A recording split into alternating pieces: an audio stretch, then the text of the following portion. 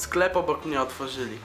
Z rozmachem, kurwa. Siedem kas, jedna czynna. Wchodzę, a tam co? Jedna czynna. Ludzi w chuj, ale jest siedem. Wychodzi gwiazda, idzie, idzie w stronę tej kasy kawką.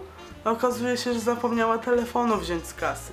Ale przecież kasy nie otworzy. Bo po co? Na drzwiach napis zamykać drzwi, sklep klimatyzowany. Jest klimatyzacja? Jest, ale włączona? Nie. Wielka kolejka do jednej kasy i siedzi taka, siedzi taka Kasia i plakietka. Uczę się. No i pik, pik, pik. E!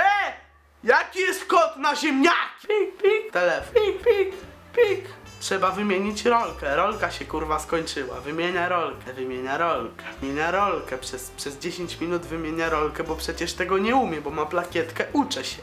Nie umie wymieniać roli. Sklep oczywiście mały, ale te wszystkie babcie wpieprzają się z tymi wielkimi wózkami do tego sklepu i jeżdżą po tym sklepie tymi wózkami. Nic się nie da, ani przejść, ani nic. Jeżdżą po tym sklepie, jeżdżą po tym sklepie, jeżdżą, jeżdżą, jeżdżą z tymi wózkami. A w wózku jedno masło. Już jesteś, doszedłeś, jesteś już przy tej, przy tej kasie i kasuje ci te towary. Pik, pik, pik, pik, pik, pik.